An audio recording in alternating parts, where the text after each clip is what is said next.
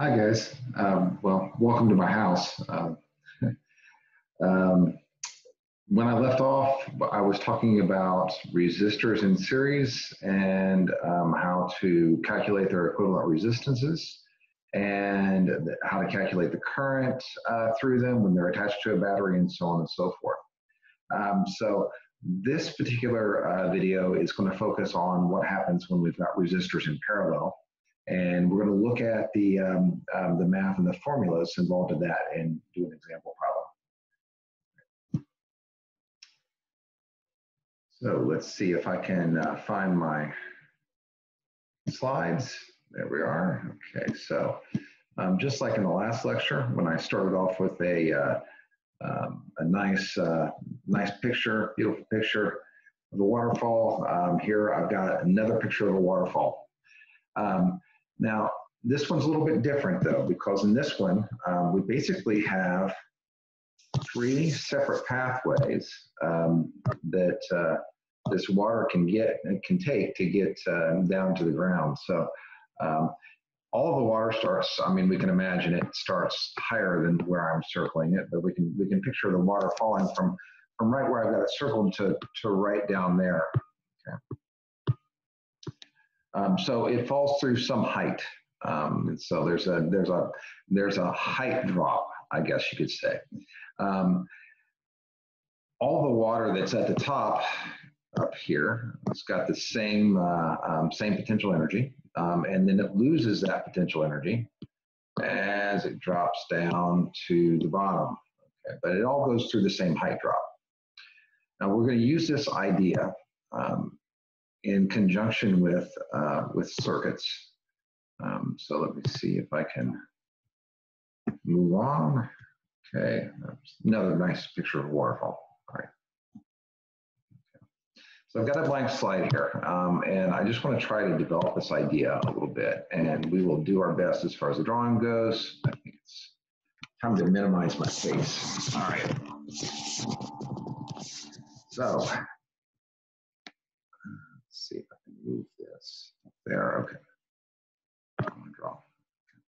So we can picture here a battery. And then we've got maybe a resistor right there. And we've got a resistor right there. And those guys are in parallel with one another. And we'll call this R1, this R2, and this V total. Now we can picture a couple things here. Uh, first off, uh, let's uh, let's go with our idea of a nine volt battery, um, just like we had last time, just to give us some numbers to play with. So nine volts there, zero volts right there. Um, so we've got um, uh, nine volts on the positive side and zero volts on the negative side, um, and no matter what pathway we take to get from the positive side um, to the negative side, um, change my color here, whatever, uh, whatever pathway we take, if we take this one right here, or if we take this one over here, whatever pathway we take, um, we've got to lose that nine volts. So we start out at positive nine volts, we've got to get down to zero, we've got to lose that nine volts. Well, if I look at this then, that means that my total voltage here is going to be exactly how much voltage I lose across resistor one, and it's going to be exactly how much voltage I lose across resistor two. Um, both resistor one and resistor two um, get that full nine volts just like the water in the previous slide, well, all the water fell the same distance, fell the same height, even though the, the water took different pathways to fall from you know, up top to, to down at the bottom. All right. Um, let me see here if I can do a little bit of erasing without, uh, I'm going to have to redraw. Uh, maybe, nope, okay. Sorry, learning something new here. Uh, so I'm going to erase that. Ah, wasn't so bad. And now I'm going to redraw uh, my little uh, bit of, there we go. I think that's slightly different color. Okay. All right, so that's the voltage. Um, I want to talk about the, um, the current as well. Um, so we can imagine current coming from this battery. Um, and, you know, so we'll label that I sub T, T for total. Um, that's, that's just the total current in the circuit. Um, but when it gets to this junction here, some of it goes down through resistor one. Some of it goes down through this second pathway, resistor two. Um, but, you know, think about what goes on there. Well, what goes on there is that the current's being split. And so I total is equal to I1 plus I2. Okay, it's split up. Now we can use Ohm's law, and specifically we're going to rearrange Ohm's law so that current is equal to voltage over resistance. And we can plug this in to our expression there for current um, and see what happens as a result. Um, well, we got to hold on to all the subscripts as well. We got to be careful with that. So on the right-hand side, we're going to have V total over R total. And then this is equal to V1 over R1 plus V2 over R2. So we just stuck in that expression, I is equal to V over R, for each one of those um, terms um, in our current equation.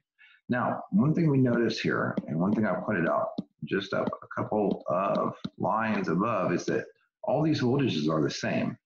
So as a result, we can cancel all those voltages out and what we've done here is we've developed an equation for how to add up um, resistances when we've got resistors in parallel.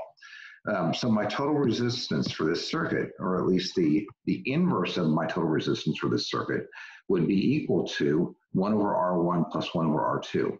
Now, I'll caution you that you'll have to be careful when you use this formula and make sure that you don't make a mistake in your calculator or misunderstand how to calculate things. And we'll, we'll go through an example problem here in a minute. Um, so this is the case when I've just got two resistors. Um, I'm going to move on to the next slide and we will see um, yeah, the, the uh, generalization of this formula. So let me clear all these and we will try and move on. Okay, all right.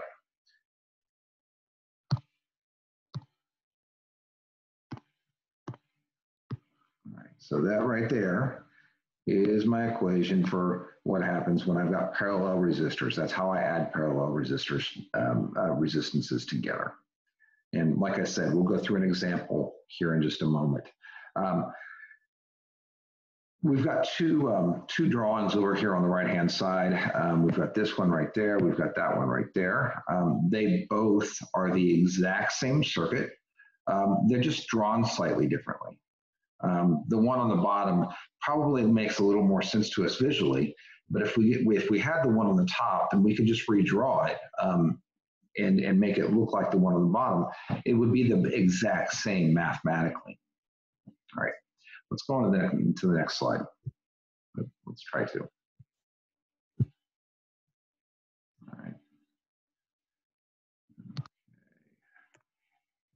All that stuff. Okay, this says we've got a 10 volt battery. Um, that 10 volt battery has a 100 ohm and a 200 ohm resistor connected in parallel.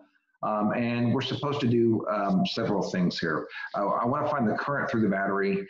Um, I want to find the voltage across both resistors and the power used by both resistors. And I'm going to find some other stuff while I'm at it too, um, because I think this is a this is going to be a decent example for us.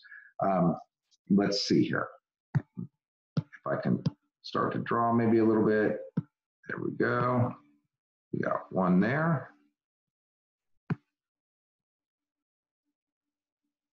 And one there. Those are like the worst drawings of resistors ever. But R1, R2, and VT here. All right. So um, we know what the resistors are. Resistor 1 is 100 ohms resistor 2 is 200 ohms. Uh, we are trying to figure out, um, oh, sorry, that's not right. We know what the what the the, the uh, battery voltage is. It's 10 volts. Okay, well, um, let's see. What are we looking for here? We're we're trying to figure out what current passes through the battery uh, we're trying to figure out what the voltage across resistor 1 is and what the voltage across resistor 2 is. Oh, well, that's, that's no problem. We know what that is because those guys are both in parallel with each other. And the only other thing they're connected to is the battery. Um, so they're both going to see the full voltage from the battery. That voltage is 10 volts.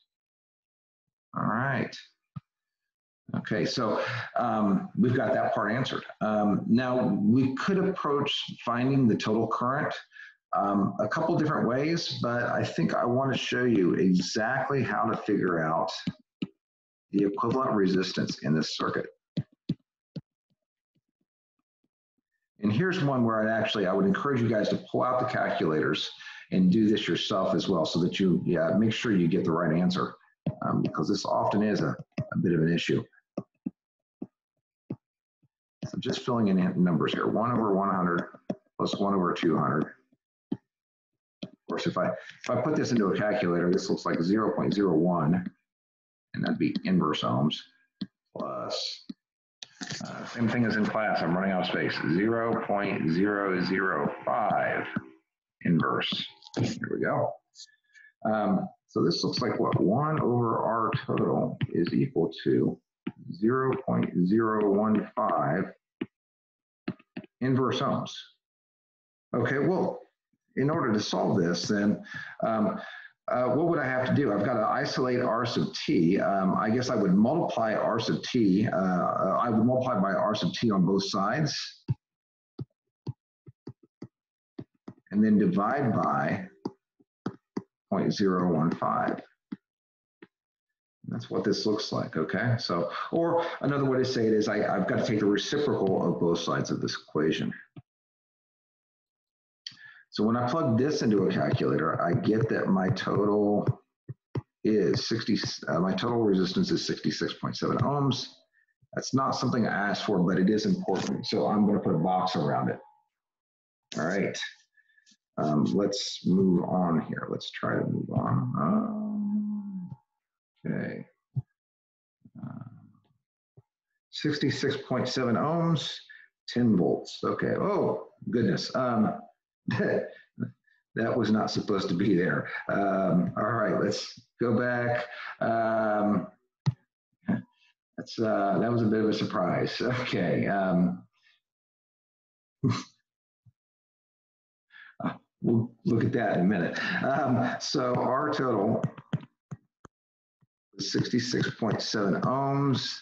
Um, and uh, we had V1 was equal to 10 volts, and that was the same thing as V2. Okay. All right. Well, that's and that's the same thing as V total as well. All right. So what what was the next thing we were looking for? We're looking for the total current. Well, that's going to be total voltage divided by total resistance.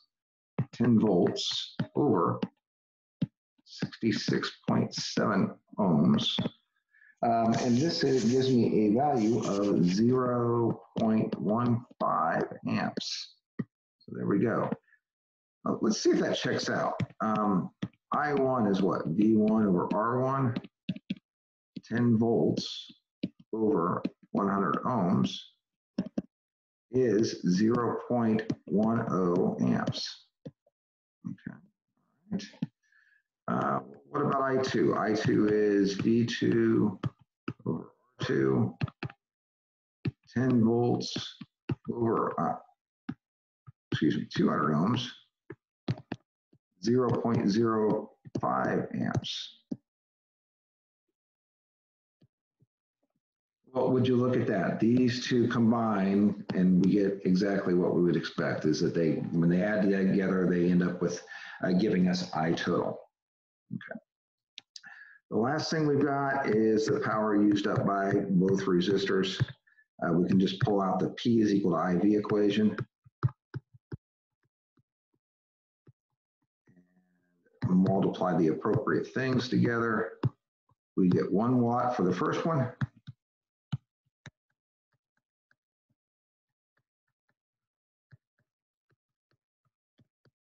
For the second one,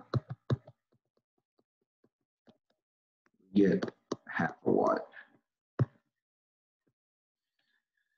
Um, and if we were to figure out the total power, uh, well, what would that be? I total, V total, 0.15 amps. Battery is 10 volts. That's 1.5 watts, and that checks out as well. All right. Um, hope this has been clear to y'all. Um, I know this one has been a bit longer, um, but um, it, it, the parallels a, a, little more complicated, so it takes a little longer to, to go through. Um, we'll clear that, and we will take a look here. That is a purebred dog. All right. I will talk to you later, guys.